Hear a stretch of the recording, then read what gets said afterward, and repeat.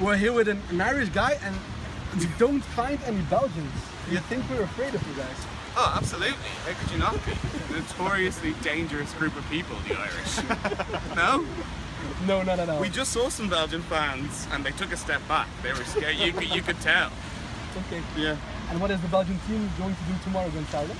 Oh, crumble like they did in the last game. They're going to be just as bad as they were.